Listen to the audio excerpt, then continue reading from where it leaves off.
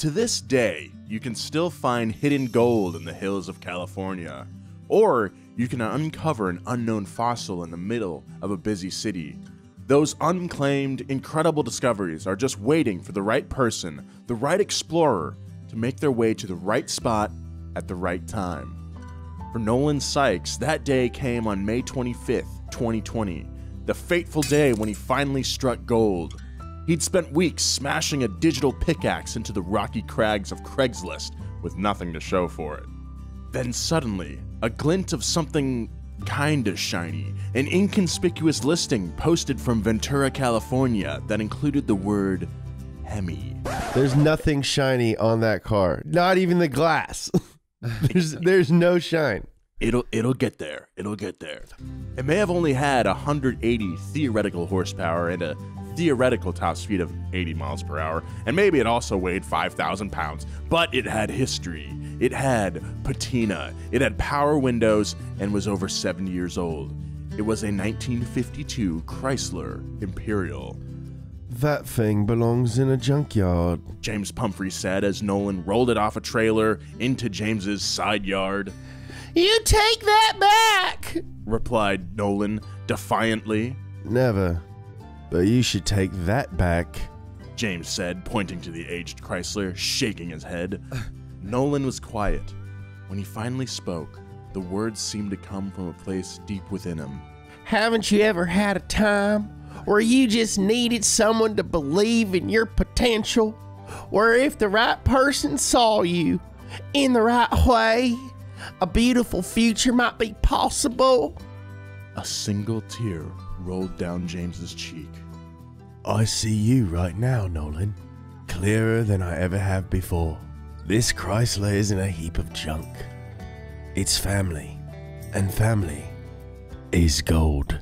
The rest is history, and history is what Past Gas is all about. Today on the show, it's Barn Finds Part 2. How does an ultra rare Shelby Daytona vanish for decades after breaking a slew of records? What does it take for an entire car dealership to vanish into history? What happens when one of the most famous Mustangs of all time turns up in a Mexican junkyard? There's gold in them thar podcasts. this is Past Gas Prospector. Let's go. Past Gas Podcast. It's about cars, it's not about sports. Let's Let's go! Good morning, everybody. Good morning, my my co-hosts. Oh, good morning to you. It might thank you. It might not be morning to when you're when you're listening to the show, but it is here when we're recording it. This is Past Gas. We are talking barn finds yet again. It was a topic so nice we had to do it twice. I'm joined by my co-host as always. We got uh, J- James Pumphrey. More power, baby! More power, baby! Nice. and Joe Weber. Keep it juiced. Speaking of Uh, barn finds, You went to you just went to Jay Leno's barn, right? I did his his barn. I went to Jay Leno's barn. It's very big. Uh, yeah, I was um invited by Larry Chen. It's that was your first time there. That was my first time at Jay Leno's place. It's so cool. It's such like You've I still have the uh the guest passes from when I went in my car, and every time I clean up my car, I'm like, yeah, I kind of made it. So yeah, it's it's amazing. It's just he's got a lot of old old cars, Yeah, and not like it's funny. Our version of our Jay Leno garage, James, I think would would be a lot different, a lot more JDM stuff, a lot more Mhm. newer stuff. Jay's got, got- a lot of like he's got a lot of important, long cars. yeah, Yeah. very long cars. He's got a lot of uh cars that have been featured in Looney Tunes episodes. he has Yeah. like a bunch of like 16 cylinder Hispano Suizas, right? Yeah, I yeah. saw the Hispano. Yeah, Uh, that's he, pretty cool he car. has he has multiple cars with uh World War II fighter plane engines in them. Multiple, Whoa. like four, like four or five or six. Larry Chen reached out to us, uh, and I was able to go. Uh, Larry is like just the best photographer. Larry, the photo guy. Larry the photo guy, and yeah, got to tour his, got to tour Jay Leno's facility. Very awesome. He's got a whole side for his collection, and then there's a whole side that has like a bunch of old antique steam equipment, like giant steam engines that like ran factories and then that's where like his the the shop is where like uh, they restore his cars or maintain them. And he has this like '90s kitchen just in the middle of Dude, it. the kitchen, yeah, there's like a full kitchen in the shop, which is sick. He's got like a bunch of like Tonight Show memorabilia around his collection, the collection side. So like the set of the Tonight Show or the stage at least that he was like on, and his desk is like there. Uh, super When, sick. when we went, we walked in and he is sitting at the kit in the kitchen eating a steak and a baked potato for In a- lunch. In a Canadian tuxedo. Yeah. Oh yeah, he was rocking the full denim. Nice. Uh, and then the second part of the day, we uh, they turned on the softbox in like the studio area where they Mhm. shoot Jay Leno's garage, and uh, we were able to roll in a few cars. The first car we shot was like a GT4 car, uh, Toyota Supra, which That is the first one in North America. Dude, it's so sick. I haven't like touched the photos yet, but like that thing is awesome. I want to. I'd love to drive a GT4 car. Um, and then we got to do both of his Ford GTs, and I just posted some pics of the the 2005. It's a red one with white stripes. nice. Uh, amazing car. Can I ask you something? Yeah.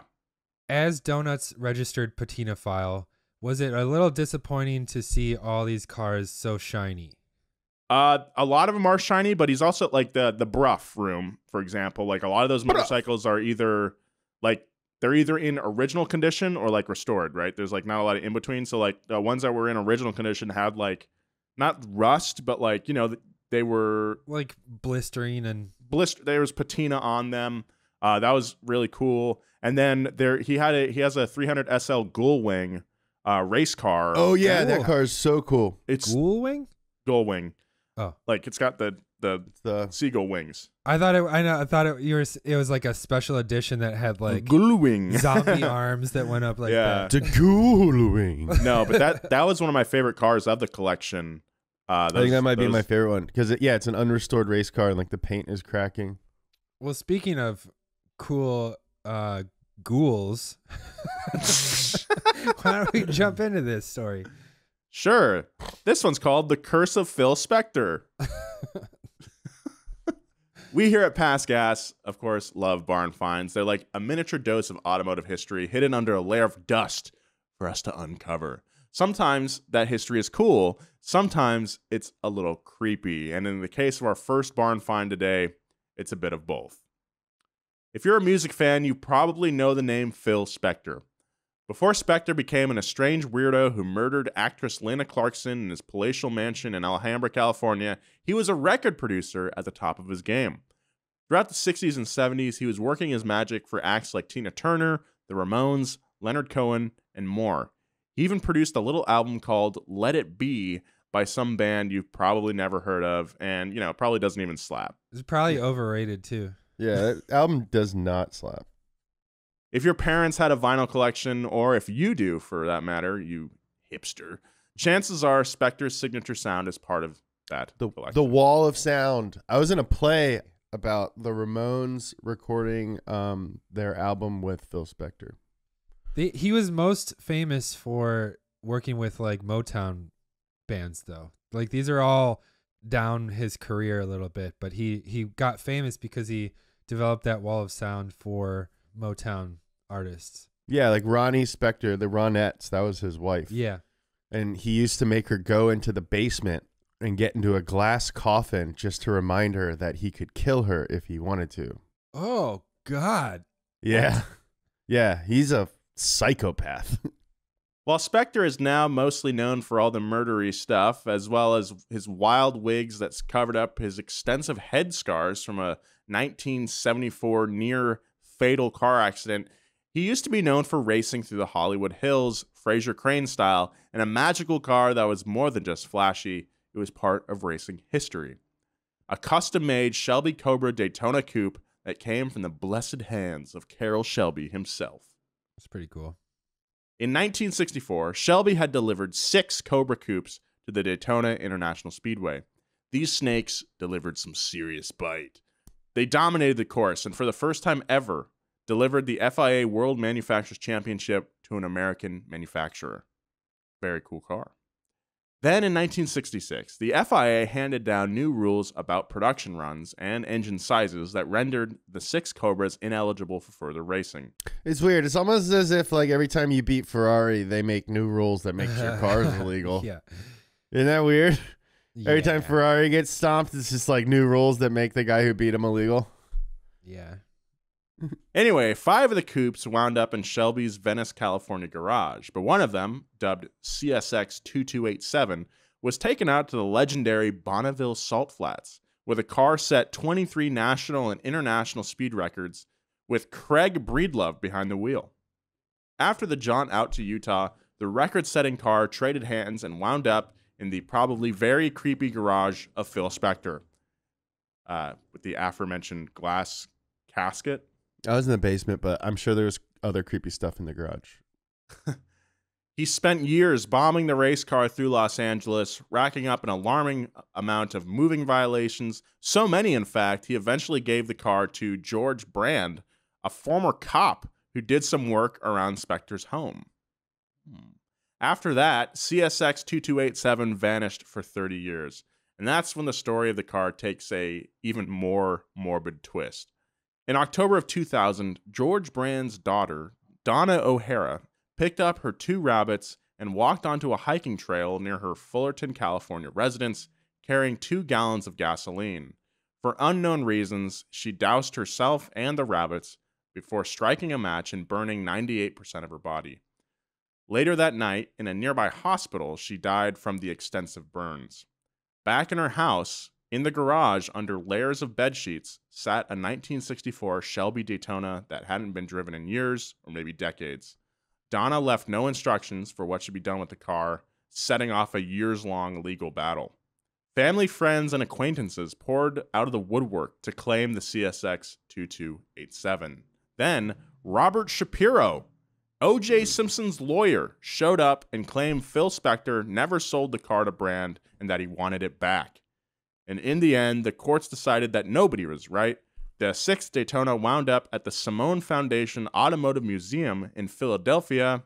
Uh, Those poor rabbits. What I did they ever do? You know? Ma- maybe they were rascally rabbits. that's just, uh, I think we're focusing on the wrong aspect of the story. Uh, I think it's very, very uh, typical that after this poor woman, obviously going through a lot of pain and deciding to take in a very extreme measure and passes away, then all of a sudden all these people come out just just wriggle their way out of the out of the woodwork to be like, "Ooh, let me get that car." Yeah, Donna's. I'm so sorry, Donna passed away, but where's that car? Give me the If- car. If I passed away, would you guys try to claim my Shiro? Depends on how you passed away. If you took your dog into the woods and burnt yourself, I think I'd focus on that first. Oh my And I'd god. be like, Yeah. what did, Yeah. what did we do? How could we have helped prevent this? yeah. Um, but if you, yeah, I think if you went skydiving or bungee jumping Yeah. and had an accident, I think like within a couple weeks, I'd be like, "Hey, Rachel, what's up? what's up with uh, what's up with Joe's car?" Do you need me to like clean it or anything? Yeah, it's like like I wouldn't be like, you know, I mean, he went skydiving. I mean, he- uh, Just because you said that, I'm gonna bequeath it to you. Oh, thanks, bud. Speaking of bullets, uh, this next this next tale of Bonds is called uh, "The Missing Bullitt." This is like the Simpsons treehouse of horror of uh, past gas. The farmhouse of horror. Oh, damn, the barn house. In the grand scheme of barn finds, sitting under some bed sheets in a garage is actually a pampered life. Sometimes wildly famous and high profile cars have to suffer in the baking sun in an overgrown backyard in Mexico, for instance. In 1968, the Academy Award winning and highly influential movie Bullitt hit the theaters and made the three year old Ford Mustang featured on the poster an instant pop culture icon. Driving it in the movie was fellow icon and speedster Steve McQueen, who single handedly taught filmmakers and fans alike what a real movie car chase was all about. Did he direct Bullitt? No, we had a um uh an Academy Award winning sound designer on an episode of the D List uh, Yeah. on our YouTube channel, and he was saying that Bullitt, the uh, the Chase and Bullitt, is like the best sound design of any car chase because Steve McQueen or, or whoever drove the car Yeah. knew how to drive it. So when they recorded the sound, he's like rev matching and uh like like it there's just so much action going on in the sound that normally isn't there. That's awesome. So he that's all location sound? Yeah, that's like the gold standard of car chase sound. Cool. Really? Cuz you can like hear the you can hear him working. He's like Yeah. playing with the clutch. Because nothing takes you out of it more as a car fan when you're watching a movie than hearing engine noise that doesn't come from that car, and you're like, "Wait, that's not a V8." Or, yeah, it know? doesn't yeah, it doesn't come from that car or it's like that's not what it would sound like right there. Yeah, Yeah. But like bullets, like there's like work, there's, there's work going on, not just like. yeah, true, true, true. dude, you just Haven't gave the of Scat. Man a run for his money, James. Yeah, wow. We I'm gonna be in Police Academy eleven. McQueen drove a custom 1968 Ford Mustang 390 GT straight into history while pursuing a 1968 Dodge Charger through San Francisco's hilly streets. The beastly hero performed moves through the narrow streets that the Fast and Furious crowd would be proud of, including drifting a 4,000 pound Charger around several corners. Tires squeal, shocks are blown out, and fenders are crunched all up until the end, which, spoiler alert, I mean, it's like a 50 year old movie, uh, resulted in the fiery crash of the Charger. What most people don't know is that there were two 390 GTs that McQueen drove. One was the face of the movie, i.e., the hero car. That's what they use for close ups uh, and stuff. That's what the like, lead actor drives. Uh, it stayed polished and pristine. The other was the workhorse that got beat to hell and wound up being towed to a California scrapyard where it was completely forgotten. Actually, having two cars is like way less than normal. I think like Yeah. in the first Fast and Furious, they had six of each car, and now like depending on depending on how many scenes the car is in the movie, they have like a ton, a ton of them in various degrees of like doneness. yeah, and like you know the I mean? like detail. yeah, and there's uh, you know, they strip out a bunch if it's a car that's gonna go on a jump. Right. Yeah, and then they also have like just interiors of cars that they put on process trailers. Yeah, Um, we made a series called How to Stunt where we cover a lot of this, and also Craig Lieberman's uh, YouTube is it's p- particular, but it's a fun watch every once in a while. So he's the guy who did all the Fast and Furious cars. The pony sat in the junkyard for years, rotting away until someone dragged it to Baja, Mexico, where it was painted candy apple red and turned into a beat to hell, bullet riddled, and very rough daily driver, which soon broke down. It was then abandoned between two palm trees in a backyard. God. Years later, the rusted heap was spotted by a man named Hugo Sanchez, who planned to convert it to an Eleanor replica uh, from Gone in 60 Seconds. He ran a report on the VIN and discovered the true lineage of the Mustang. It was then he undertook a full restoration in hopes of a big sale down the road. While that's still pending, he has reasons to see dollar signs. The first 390 GT that was kept clean sold for 3.4 million dollars Wow. uh, at Mecum Auctions, making it the most expensive Mustang ever sold. wow.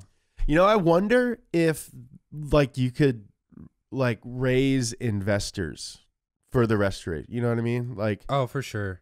if I found that car, like I couldn't afford to restore it in the way that it would need to be restored. We can tell that by my current car collection.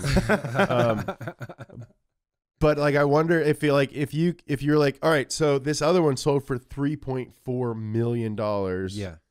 I imagine this will go for at least half that. It's not the hero car. Because what At were you gonna put like fifty, sixty thousand dollars in it most at most? I, I bet oh, Joe. Oh, you naive child. I bet No, what what do you th- what what do you think, Nolan? One to two hundred grand? For a re- for like a full on restoration, Yeah. yeah, probably like 200 grand. Yeah, at Yeah. least. At least. depending on like the shop and their labor rates too. It's not the parts and and the materials that cost a lot. It's the labor. It's the, Oh. the all the hours. Um, I mean, yeah, if you were doing it yourself, Joe, you'd probably spend fifty to sixty thousand dollars. That's on what I'm talking about, Nolan. Don't Yeah. treat me like a kid, all right? I I've restored a ton of cars in in my garage. How's that 4Runner coming? uh, the engine's being rebuilt right now by. Is it me. really? Yes. Okay. Well, at least that's going down. Um, yeah. But anyway, yeah, uh, so much labor, so much cost, so much money. If if it were like a vegetable or something, it'd probably be like a pumpkin of an undertaking. Speaking of pumpkins, before the Bullitt Mustang ever set records at auction, Elvis Presley was setting records for the most number one albums on the U.S. charts. Until Drake. You don't hear Drake bring up Elvis much. I think he's afraid to. Afraid to bring more up the slaps than Elvis. I'm shaking my pelvis. I got more slaps than Elvis. the only word that rhymes. Anyway, everything the king touched turned to gold, and he was handsomely rewarded for his talents. He quickly amassed an impressive car collection, which included a De Tomaso Pantera, which we've covered on Bumper to Bumper. Uh, he famously shot it with a gun. Yeah. Uh, he bought a, a Stutz Blackhawk 3, a Ferrari Dino 308, and a bunch of caddies and other kingly automobiles.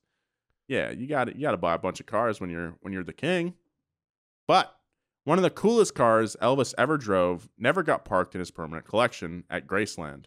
In 1958, the king of rock and roll found himself drafted into the U.S. Army and wound up sitting out the Korean War on a German base.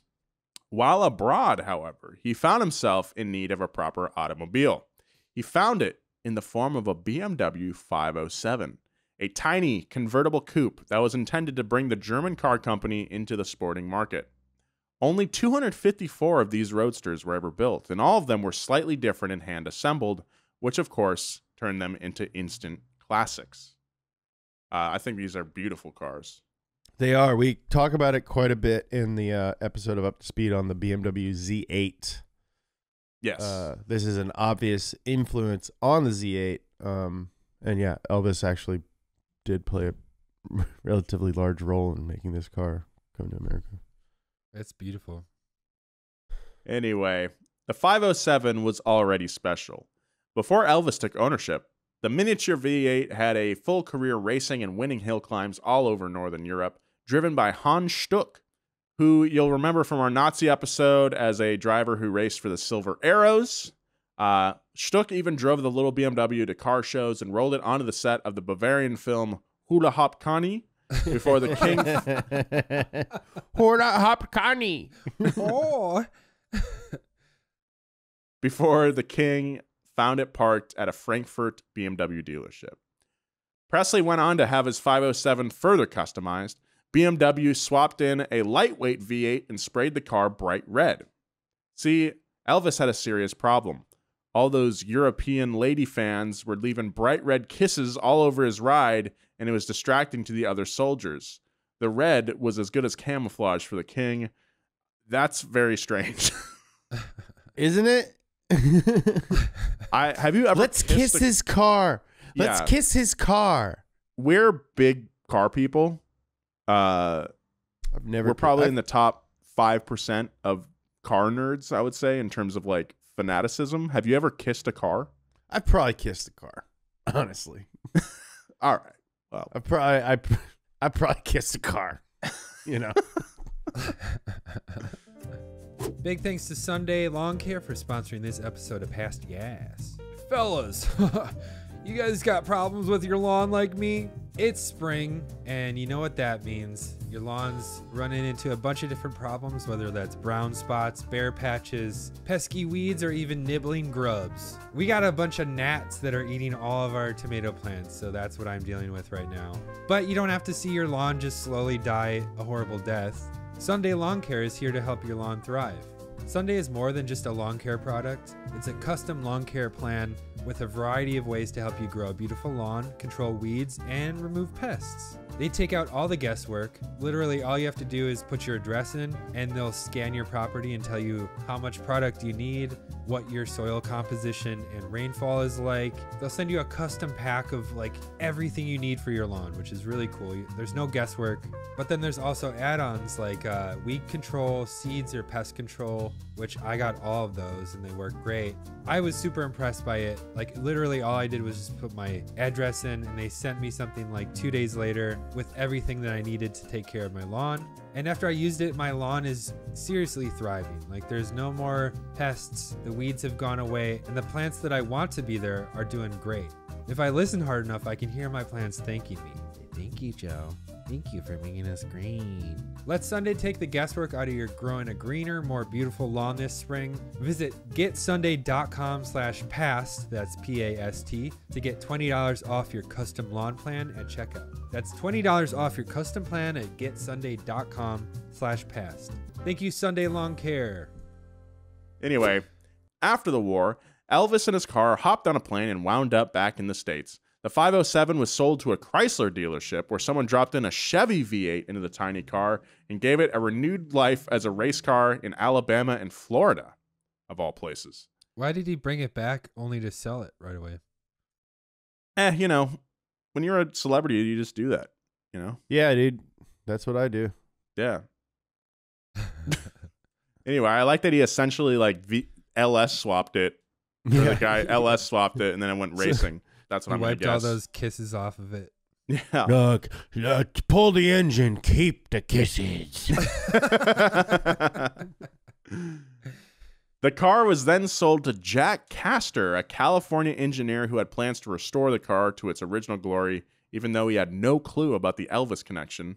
And as we all know, a restoration project can quickly become a store your car somewhere until you can get around to it project. I don't like to think of that.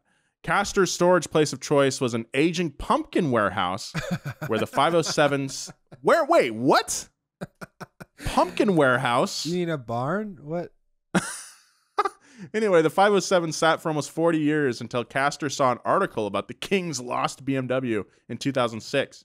He reached out to BMW and they cut a deal to acquire the coupe and do a full restoration. It took almost 10 years before the King's coupe was revealed at the 2016 Pebble Beach Car Show to an adoring throng of fans who politely restrained themselves from Yeah. leaving lipstick kisses on the bonnet. They're like, we'll buy it back, but you got to throw in some of them pumpkins. Yeah, let, let, us hear more about them them them pumps.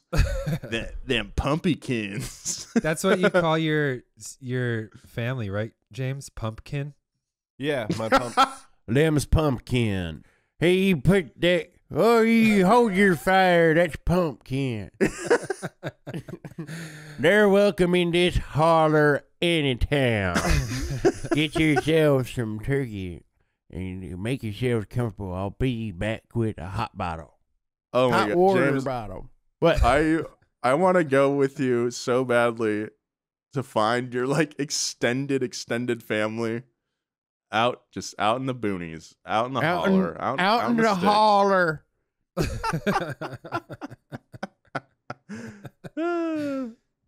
While some cars are stars of the silver screen, getting all the girls and high fives, others fly under the radar. In autumn of 1963, Porsche debuted an innovative little sports coupe that would change sports cars forever. They called it the Porsche 901. Uh, Porsche and Levi's kind of name their products in the same way, huh? oh yeah. Yep.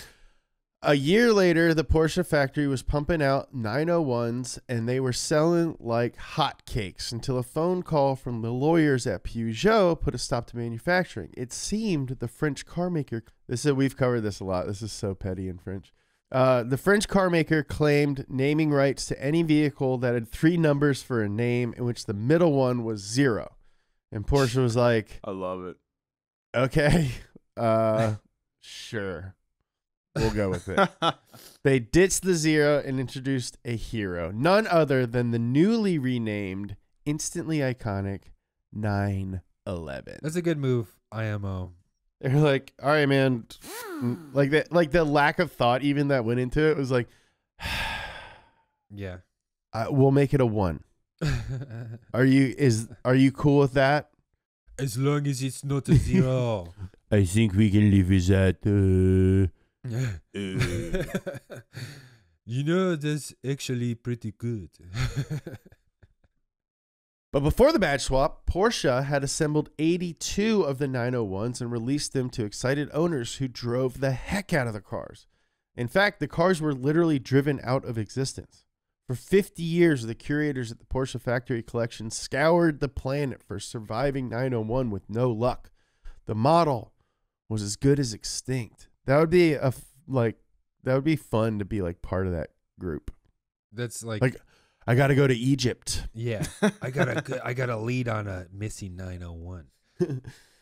But for anyone who's seen one of the many Jurassic parks, knows that extinction is just the beginning. On August 5th, 2014, when Alexander Klein, the manager of the classic car collection at the Porsche Museum, got a phone call from a reporter at RTL2, a German TV station, a team digging out a long abandoned collection had found a pair of old 911s. Not the 901s, but cool enough for a story. The reporter ran down the details of the cars while Klein nodded along, confirming the car's 911 heritage until he got to the VIN. As he read the numbers off 300 057, Klein almost dropped his hot dog that he was eating at the time. This wasn't just any old rotting 911. This was a rotting 901. Porsche immediately dispatched their crack team of experts to the Brandenburg farm to inspect the two vehicles, probably while wearing white gloves and some sort of scary mask and jacket. They're known for that kind of stuff. Upon entering the barn, they first saw a gold 911L in really awful condition, just completely rotted away. Then, at the back of the barn, they found the survivor covered in a thick layer of what most believe to be dust. The front fenders and a large section of the front end were long ago eaten by Nolan's favorite friend, rust. The interior was mostly held together with spooky, spooky cobwebs, and both the brakes and engine were fully seized. But you could make out the chassis number for sure. And it proved that this was the 901 they've been hunting down for more than 50 years. Wow. While it was number 57 off the production line, it is now number one in Porsche's heart. Has it been restored? Do you know how this show works? Do you think I know that? I don't know. Yeah, it's been fully restored, and it's been fully restored. And Joe, look out your window. it's on your back porch. oh, cool. oh, this thing is cool. There's like they put chickens on it for this photo shoot. Well, speaking of chickens, while we know not all barn finds are found inside the barn or even on top of the barn, some are found right out in the open. Specifically, the case of our next find, a Welsh garden. This story involves one of our favorite brands here at Past Gas, Land Rover, and begins in 1948 at the Amsterdam Motor Show. Amsterdam. Oh, dude, that's like, dude, the most, dude, like, that car, dude. Oh my God, that car is so sick.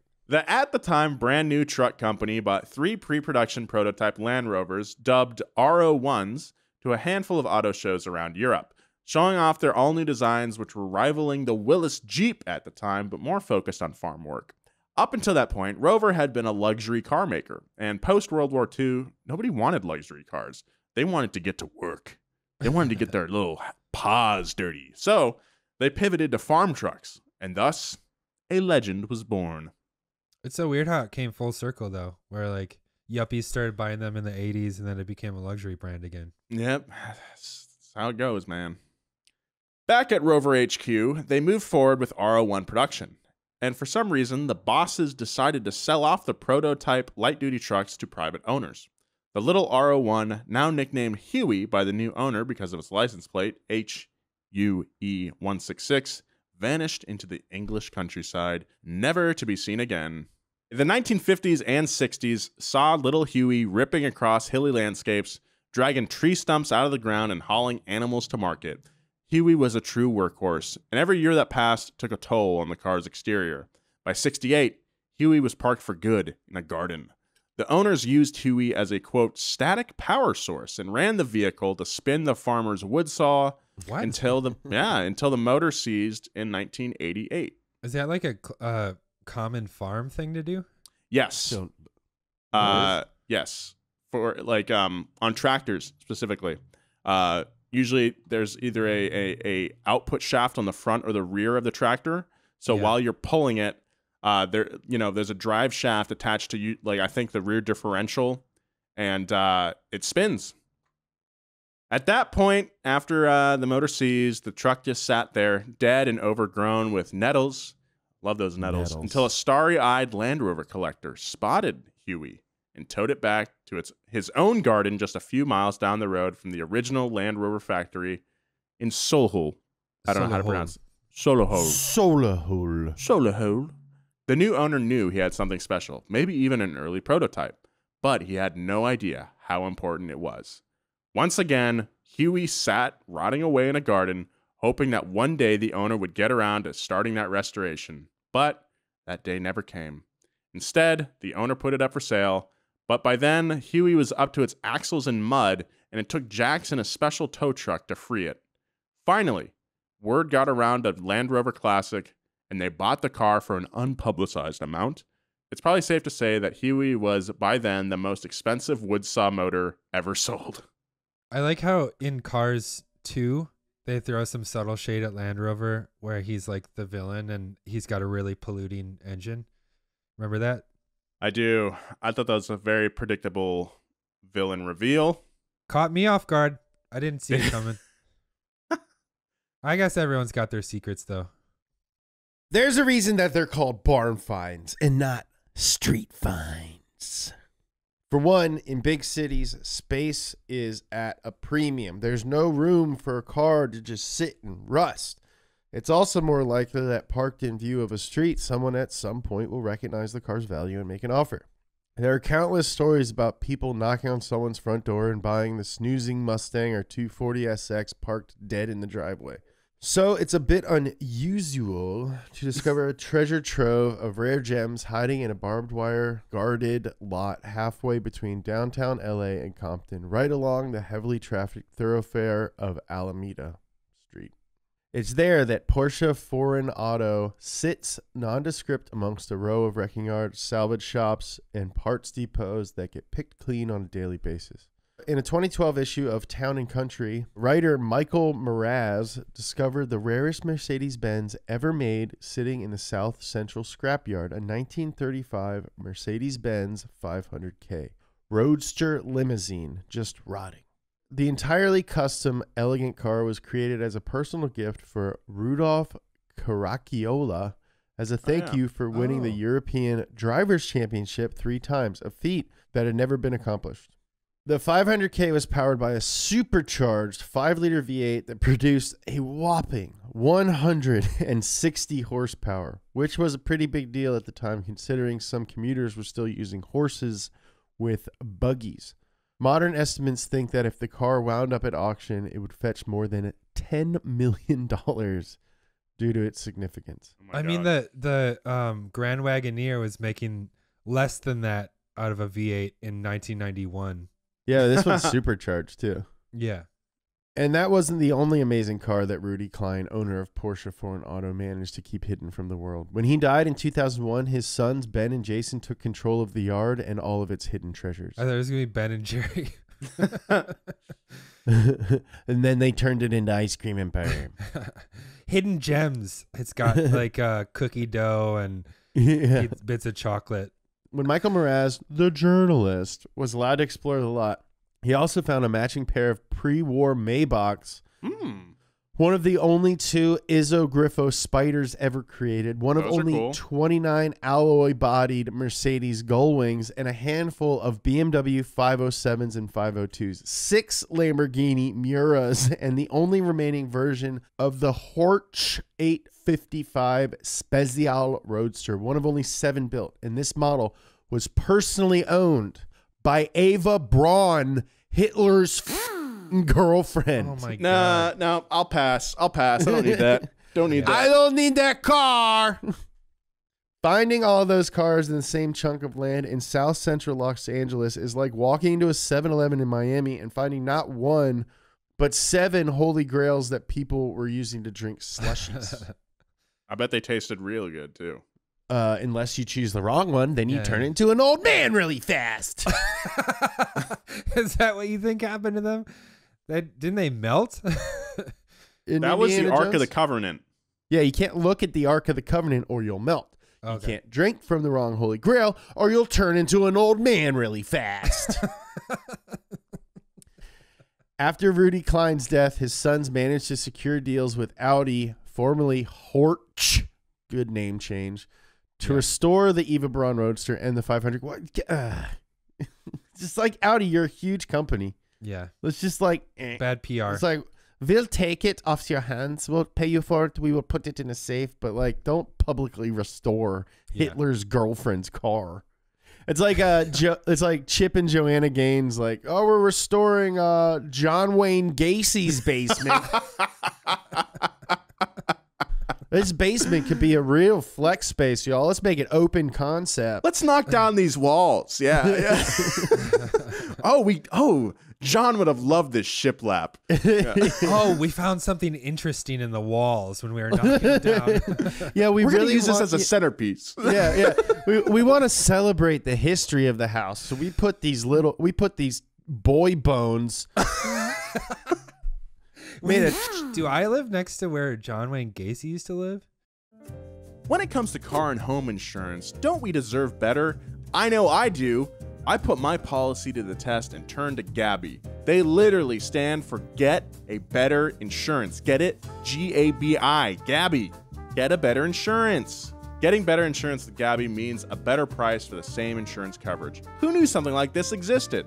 They are the one true comparison platform with real rates. That's right, folks. They give you an apples to apples comparison of your current coverage with 40 of the top insurance providers like Progressive, Nationwide, and Travelers all in one place. Super easy. Use your current insurance information to get started, and in just minutes, you'll be able to see the quotes for the exact same coverage you currently have, and it's free to use. That's what I did.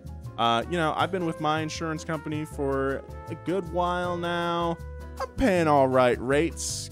Yeah, logged in with my current insurance provider, got shown like 15 quotes. Gabi was able to save me like 700 bucks. That's amazing per year.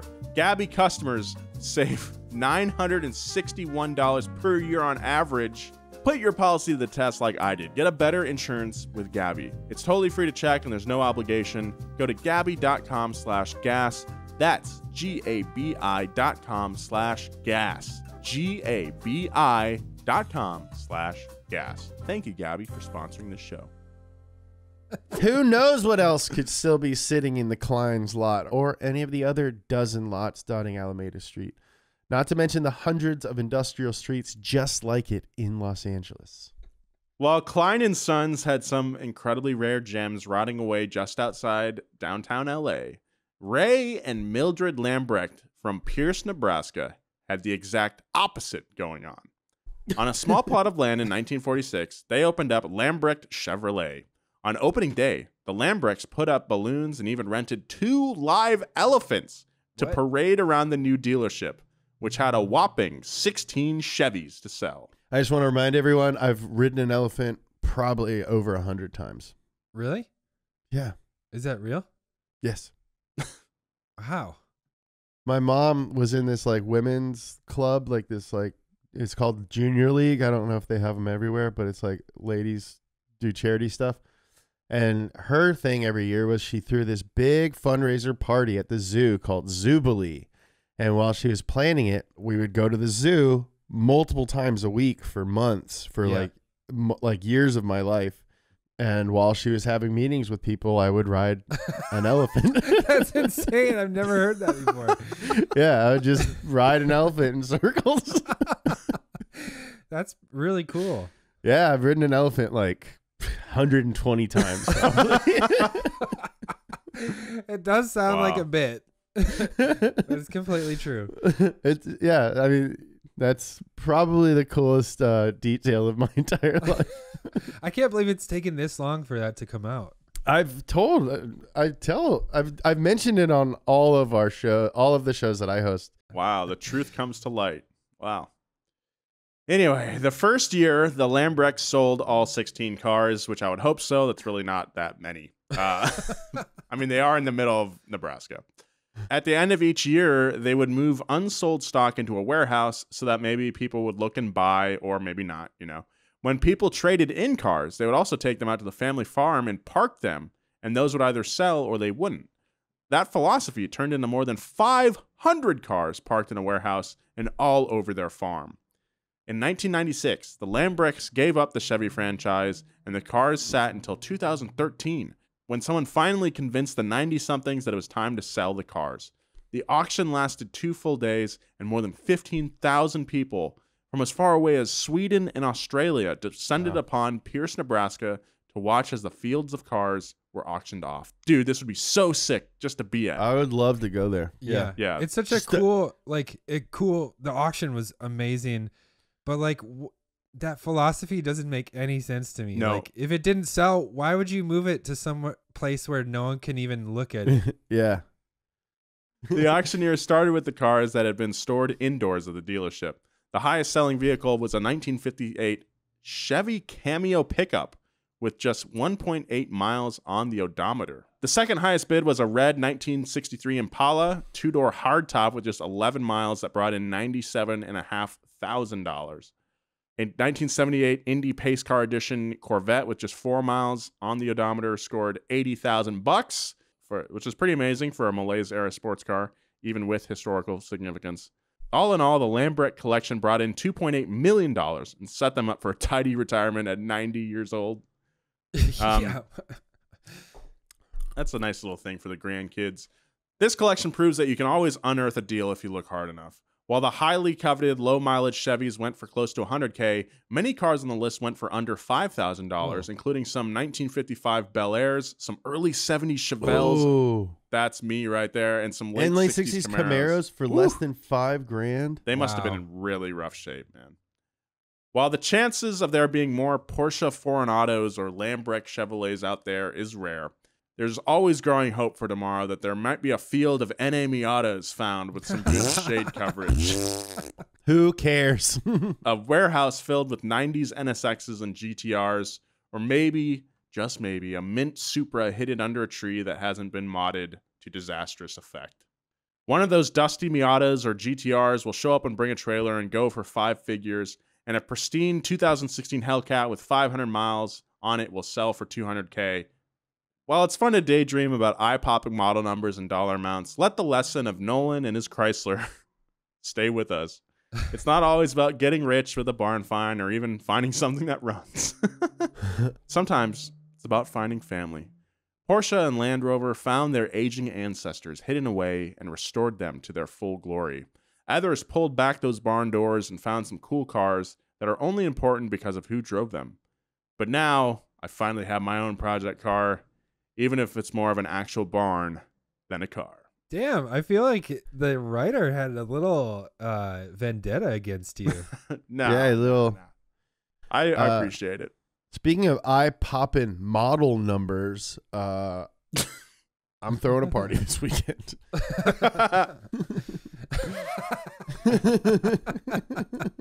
Anyway, that does it for this week's episode of Past Gas. Joe, you found more bones in your yard, in, in your neighbor's yard. yeah, the bone Oh, yeah, man. continues. I saw Please- this on Twitter. Please update us on this. I found more of the same bone. So it is a femur. Still have to look and cross examine it and see if it may, it might be like a an arm bone right here. I don't know. It's not a dog's. It's not a coyote's. for for for background, uh, Joe found a bone on a walk a few weeks ago. He has attempted to contact the LAPD multiple Three times. different police stations shooed me out of their lobby. The police do not want to touch this bone. I'm kind of running out of options. Someone tweeted at me that they're like an anthropologist and they'd take a look at it for me. So I think I'm gonna hit that guy up pretty soon. Well, to be fair, uh, they're busy pulling modified cars over and making them get state refed, so you know, they don't have time to solve murders. Thank you very much for listening this week. Big shout out to our writer, Jacob Desjarlais. And shout out to you, dear listener, for supporting the show. And thanks to Tommy and Bridget for always being there for us. And just a big shout to barns because without barns, this particular episode would not have been possible. So I just want to thank giant structures in fields used Yeah. to store hay and livestock. Follow James on all social media at James Pumphrey. Follow and his and his pumpkin. Follow Joe at Joe G Weber. Follow me at Nolan J Sykes. Follow Donut at Donut Media. All that good stuff. Please give us a review. You know what? I think we're gonna start reading reviews on the show. I want to do that. So Let's do it. Only bad ones. If you have a really fun barn find story, send us a, uh tell us. We'd love to hear about it. Uh, you can send that to pastgas at donutmedia.com. Yeah. Yes. If you have an idea Yes. for an episode you really want us to research and write, uh, hit us up at that email address and we'll consider it. all right, that'll do it. Thank you. Thank you. Thank you. Thank you. That'll do it. Thank you.